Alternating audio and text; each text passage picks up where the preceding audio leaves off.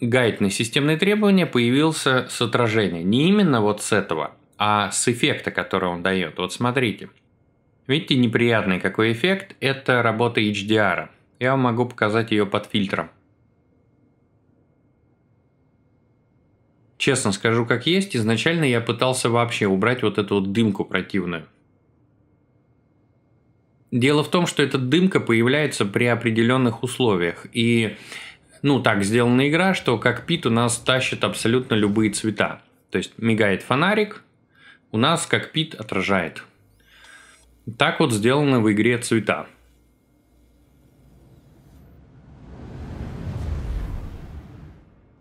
Вот посмотрите на ней, какой цвет броник. Как вы думаете, какой цвет?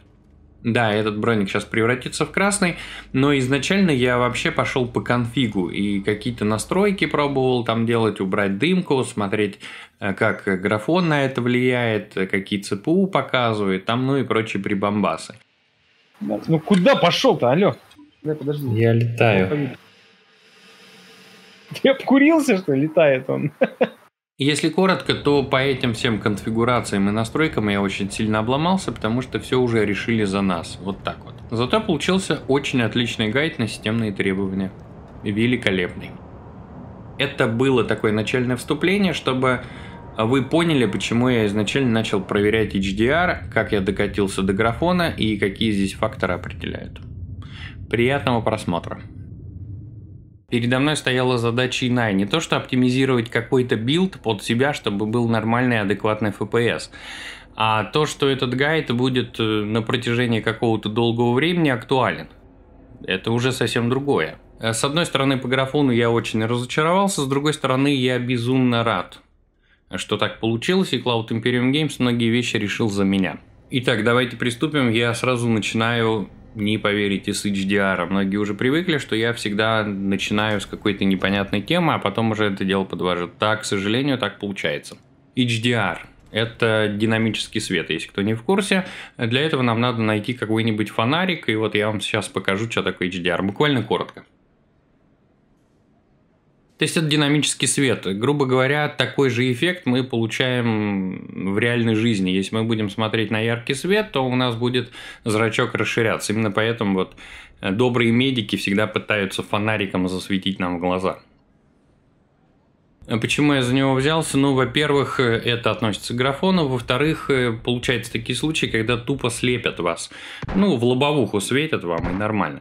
Помимо этого, это также применяется в PvP. То есть, если вас ослепят, то есть поставят перед какой-нибудь дверью э, машинку, либо какую-то технику, вы здесь будете как крот слепой.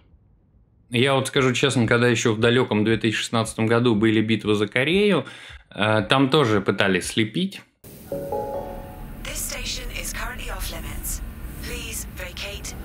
Но, скажем так, движок на тот момент не позволял таких возможностей, поэтому особо это так не применяли. То сейчас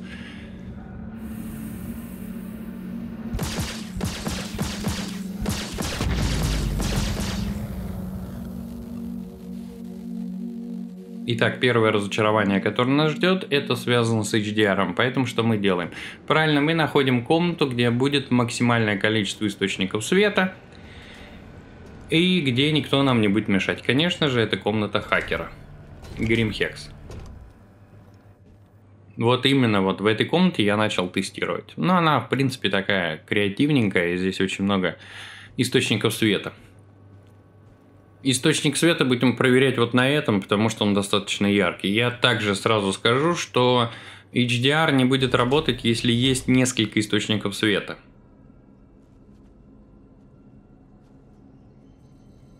Итак, я сразу предупрежу, что сейчас я буду показывать консоли. Очень многие люди боятся консоли, не понимают, что там вообще надо нажимать и вообще для чего она сделана. Вы просто не пугайтесь. А, консоль – это та вещь, которую вы можете нажать, вот где бы вы ни находились, что бы вы ни делали, в игре вы можете вызвать консоль. Там есть какие-то циферки, я буду использовать команду Q Quality. Все, кроме первой, это Quality. Первый – это выход. Даже если вы в этом не разбираетесь, э, тут все просто приоткрою карты, это все дело просто не работает. Вот и все. В общем, цифры, которые я показывал, они были трешечки. У вас это могут разные быть цифры, там и двойки, и единицы, и нули, в определенных случаях они будут определены. Это я тоже сейчас расскажу. Просто э, дайте мне про HDR рассказать, потом сделаем пару тестов, и вы все сами увидите.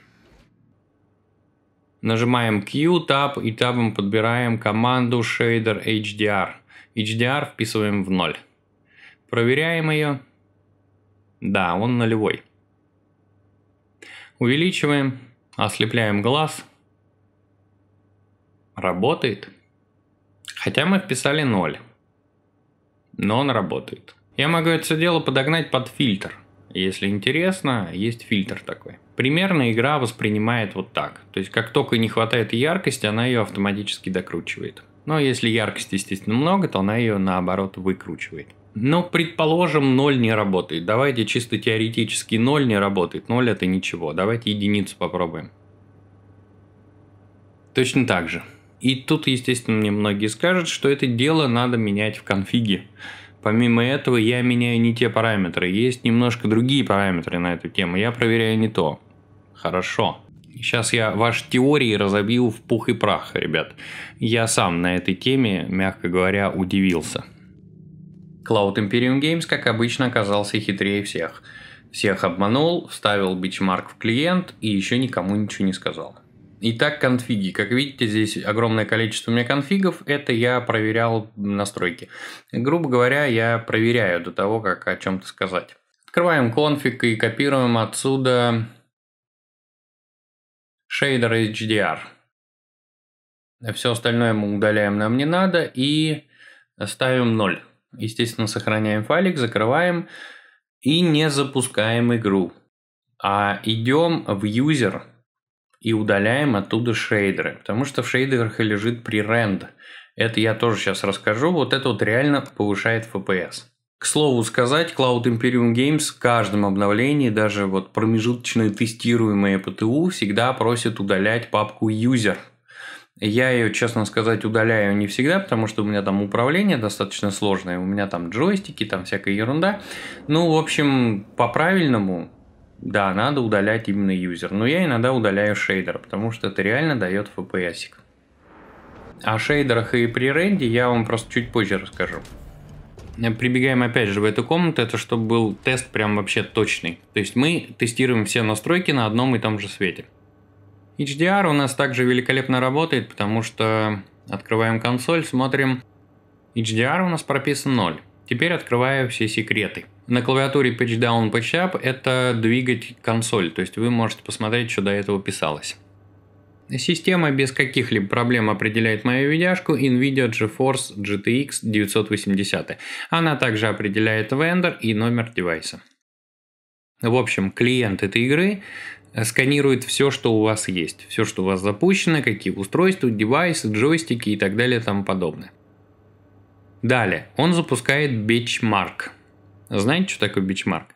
То есть, грубо говоря, он проверяет сам, а, насколько сильный у вас ЦПУ и насколько сильный у вас ГПУ, то есть графический процессор. Из этого он высчитывает какие-то данные, которые надо. А далее к этим данным он уже подстраивает графон все команды, которые мы вписали, он помечает как not whitelisted. Whitelist – это белый список. То есть система, грубо говоря, пишет, эта команда не в белом списке. Ignored, проигнорирована. Показываю фокус-мокус. Escape, опции, лезем в графон и в графоне меняем качество графона. Давайте на любой, на medium, предположим. Пойдет. Открываем консоль, вуаля, какие-то ошибки. Пока на ошибки не обращаем внимания, нажимаем Q, у нас уже не троечки, другие цифры. Эти ошибки на самом деле не что иное, как запрет на вот этих команд. Однако я эти команды не вводил. Как это все получилось? На самом деле все просто. Cloud Imperium Games запрещает очень многие команды вводить в консоль. Вот так вот. То есть он не любит, когда ему любимую игрушку ломают. Превращает из нее Майнкрафт. Что произошло? Как только я поменял графон, у меня сразу вылезла куча ошибок. Это ошибки говорят о том, что это не белый список и такие команды запрещены. Но я их не вводил. Их ввела сама игра. То есть, как только я меняю графон, их вводит сама игра. И вот игре вводить эти данные можно, а мне нет. Все, точка. То есть из этого у нас получается, что мы можем взять любой среднестатистический компьютер, запустить игру, поставить максимальные настройки, и у нас игра будет на максимальных настройках. Вау, я играю на самых крутых настройках, посмотрите. Нет, тут есть очень большая хитрость.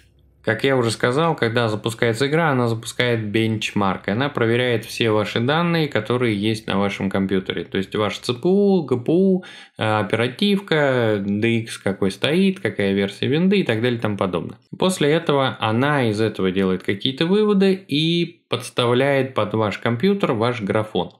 То есть как это получается? Показываю на себе, вот на примере. Кто следит за каналом, прекрасно знает, что периодически я там куда-то выезжаю к друзьям, и мы там снимаем под джойстиком всякие там навороты крутые. Ну или не крутые. Э, до штурвала мы не доходили. Ты знаешь, я тебе, кстати, Слава богу, сказать- пока не дошли, блин. да. Естественно, у моих друзей есть компьютер, и я вам скажу по секрету, что у меня компьютер самый слабый из всех, вот э, с кем я общаюсь. Ну, естественно, в гостях я также играю, почему бы и нет, куча джойстиков, куча наворотов, весело, прикольно. А инструкция есть? Есть еще свободные болты. Целых два у меня у Оскара. Потом приходишь домой, думаешь, что-то с графоном не так. Дай-ка я его поставлю на максимум. Ставишь на максимум, все равно не так.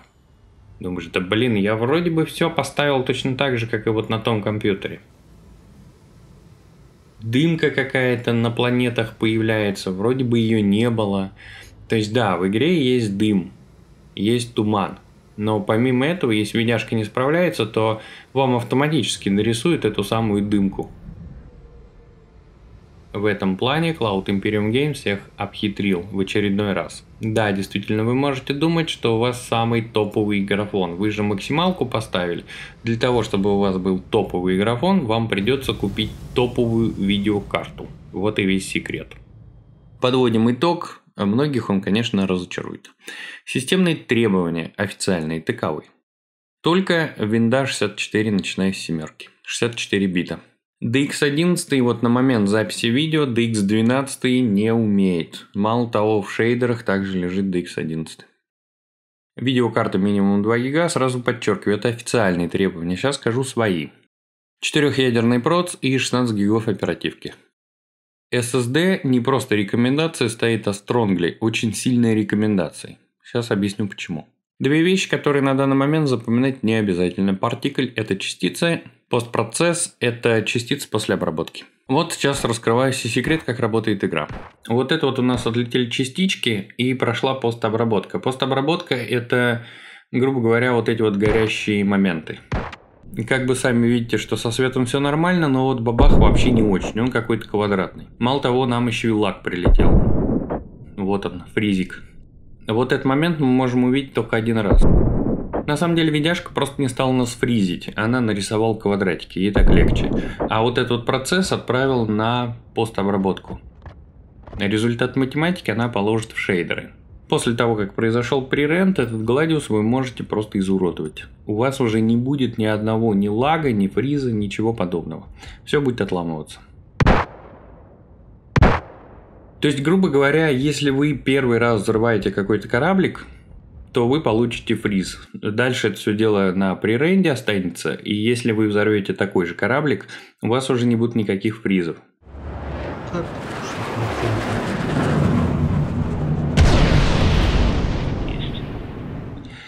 а если какой-то новый кораблик появится, нового дизайна, то также надо ждать прерент. Принцип примерно такой у этой игры. Теперь основная проблема с этой игрой.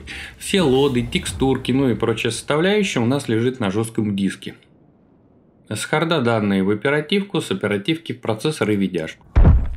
С видяшки уже вам на экран, и вы видите вот то, что происходит в игре. Но это все замечательно, если у вас быстрый диск. А если у вас какой-нибудь слабоватенький HDD-шник, то у вас будут очень большие проблемы. Вплоть до того, что вы будете вставать в кровати и просто проваливаться через текстуру. Причем не просто проваливаться, но еще и краш.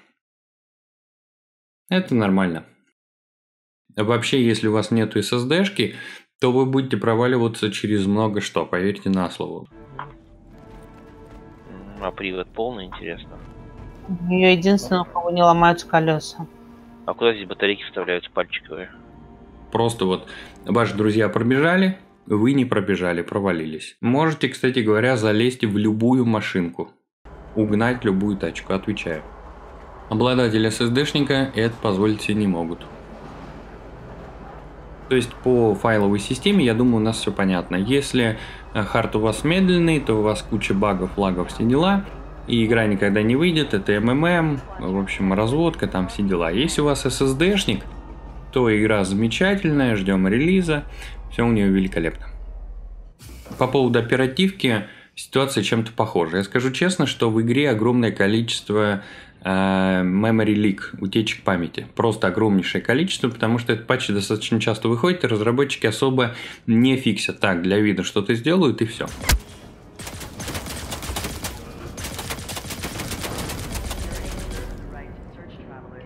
Игра минимально требует 16 гигабайт. Минимально. Хотя вы ее можете запустить также на, на 8. На 8 она пойдет. Правда, она вам об этом скажет, что неплохо было бы ей дать 16. На 8 гигах игра у вас крашнется. На 16 она у вас также крашнется. И на 32 она у вас крашнется. Просто на 32, пока эта memory leak дойдет, у вас забьет вся память, вы уже отыграете 5-6 часов без проблем. Короче, у кого побольше памяти, меньше крашей. Примерно так. По видеокарте. Это самое интересное. Предположим, у вас вот какая-то слабенькая видеокарта. Моя, например, уже далеко не топовая. Как я уже говорил, игра вначале запускает бенчмарк. Она измеряет ваш проц, видяшку, количество памяти на видяшке, оперативку. В общем, все данные берет и формирует из них определенные цифры. Из этих цифр она подгонит вам графон под ваш компьютер. Вы такие довольные, ставите графон в максималку, круто вы играете на максимальном графоне. Только об этом никому не говорите. Потому что если вы купите какую-нибудь топовую видяшку, я вам отвечаю, у вас пачка отвиснет от графона, который вам предоставляет игра. Я не раз это проверял, потому что я вот катаюсь по друзьям, еще раз говорю. Абсолютно такая же ситуация происходит с процессором, потому что процессор также обсчитывает игра, и под него также подставляет графон. Так что с графоном это процессор плюс видяшка. Чем вообще тогда отличаются настройки графики? Очень многие уверены, что они ни на что не влияют. Ну, потому что по FPS просадки никакой, когда мы меняем графон. Это действительно так. Как я уже и показывал, когда мы меняем графику, игра постоянно вписывает какие-то дополнительные команды. Причем эти команды нам вводить нельзя. Игре можно. За пример можно взять пул теней. Открываем юзер KFG и вписываем сюда, ну, предположим, 2048.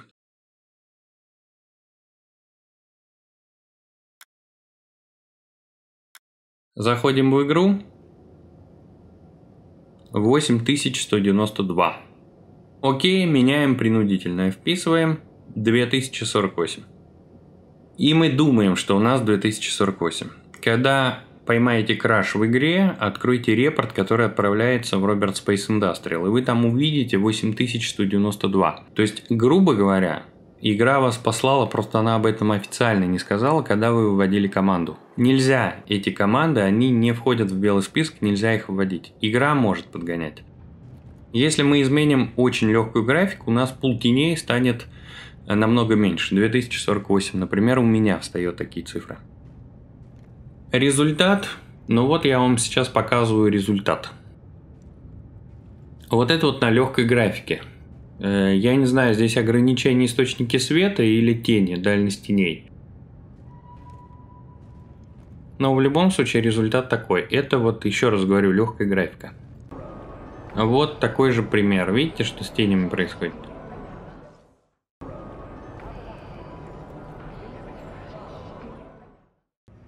Я, естественно, пробовал эти команды вводить напрямую, причем не один раз.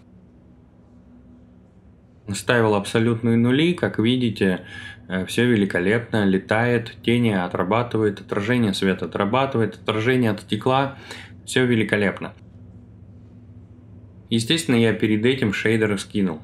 Все здесь нормально. То есть для желающих, кто хочет потопить за юзер КФГ, что он работает, могу подсказать еще один способ, который тоже работает. Утром помолиться Крису – это плюс 30 FPS, и после обеда это еще плюс 10. Сам лично не проверял, но говорят, работает. В конфиге можно вписывать команды. Какие можно? Все, которые есть в опциях. То есть гамму можете вписать, можете разрешение экрана вписать. Все, что здесь есть, вы можете вписывать. Ну а толку вписывать в конфиг, если у вас то же самое, вы можете поставить из опций. Также есть несколько тестовых команд. Например, вот SSDO 1.2. Вы их можете менять. Ну, качество графики я вам сейчас покажу. Увеличу. По FPS разница небольшая. А можете поставить, кстати говоря, SSDO 3. Но лаги вам обеспечены на 100%. Также команда SSDO может дать вот такой вот, например, результат. Не очень приятный, но в основном это проблема ваших крашей. В общем, все команды, которые доступны, либо они уже утверждены и официальные, которые находятся в опциях, и вы их можете менять, либо они являются тестовыми, например, как э, прямая синхронизация видеокарты, там, ну и прочее. Это все не дает стабильности игры. Если вы хотите постоянно краши ловить, тогда меняйте вперед. Но я бы не советовал. Теперь вопрос к вам, точнее говоря, два вопроса.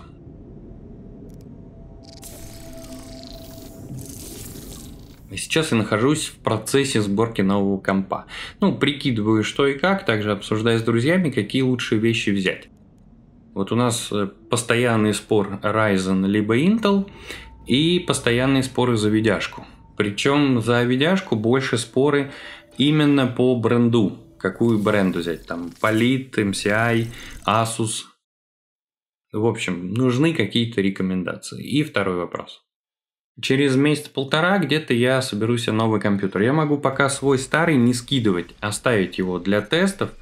Э, если очень интересно, как, например, будет бегать компьютер, если туда э, всунуть SSD-шку, либо вообще M2 память, э, либо новая видяшка, как она будет работать. Если интересны такие тесты, пока я его не скинул, он у меня есть, пишите в комментариях, запилим видяшку, это вообще не проблема. В игре нету никаких швов. Единственная загрузка, которую вы видите, это когда вы запускаете саму игру и когда вы подключаетесь к серверам. Далее твори, что хочешь. Бегай по городу, покупай что-то, покатался на метро, на трамвайчиках, спустился в ангар, вызвался корабль, лети куда хочешь. Хочешь, вот взлетай с планеты, к астероидам лети, эти астероиды, там что-то километров 200 тысяч, я уже дальше опух переварпывать. Все это дело происходит без каких-либо э, перегрузок. То есть игра никогда не сообщает вам, подождите, загружается локация. На самом деле в игре постоянно что-то подгружается. Просто вы это не видите, это прозрачно. То есть в игре, еще раз говорю, нету никаких швов. По графону получился очень интересный момент, потому что игра подстраивается под ваш компьютер. Честно сказать, я такого от разработчиков не ожидал.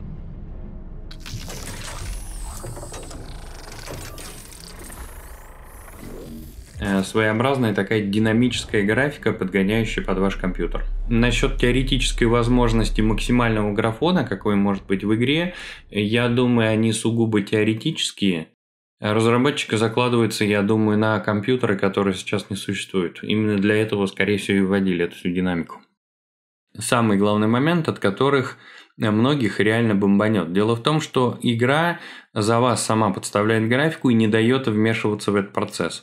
Единственное, что вы можете, это в опциях что-то менять. Какие-то дополнительные глубокие детали менять вы не можете. В будущем, возможно, эта консоль вообще отключит и оставит только вот настройки графики.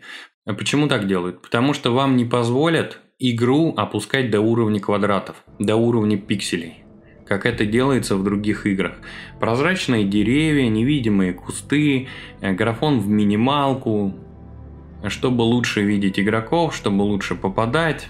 это все не для этой игры, потому что в этой игре, как бы вы ни ставили графон, первым делом он будет вам ставить детализацию. Даже на самых минимальных настройках у вас все равно будут эффекты.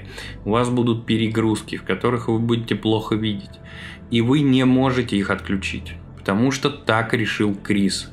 Потому что Крис не позволит из этой игры э, делать игрушку, превращать из нее Майнкрафт. И да, если у вас слабый компьютер, а вы хотите в нее поиграть, а еще постримить, и неплохо было бы ее графон опустить там до уровня э, Quake чемпионат, не получится. Все, это вот, ну, такова политика Cloud Imperium Games, никаких пикселей. Я, естественно, умолчал о таком процессе, как гамма. Можно выкрутить гамму и ночью все видеть. Это до поры до времени. Еще раз говорю, разработчик не даст издеваться над своей игрой и превращать ее там в Майнкрафт. Да, сейчас вы это можете. Поверьте, это вопрос времени, причем короткого. Вот так вот. Кому интересна игрушка, ссылку на регистрацию я оставил. Если не хотите покупать эту игру, ждите бесплатные недели или бесплатные выходные. И зайдете, потестируете, бесплатно поиграете. Жду от вас комментариев. На этом прощаюсь.